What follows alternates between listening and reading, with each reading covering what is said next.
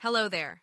In today's video, I am going to show you how to read text in images without installing any application. Earlier, V used to read the text in only WhatsApp images by just touching on the screen. The talkback is to announce that you have an image in front of you, and it will also read out the text in English. Now, after the talkback has received an update, it has become possible for us to read the text in every kind of image.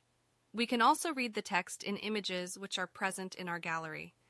So the first thing you have to do is go to Talkback menu, and then go to the very last option, which is labeled as Describe Image, and click on that. As soon as you do that, your Talkback will start reading the text in the image, and you will be easily able to know what is written. Let me show you. So now I am opening my Talkback menu.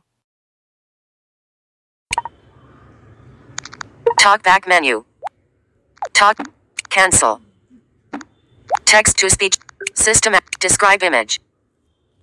Detected. Icon left. Play. Like. Edit. Share. Delete. More. Overview. Left. Text 951 N. VO. 4G.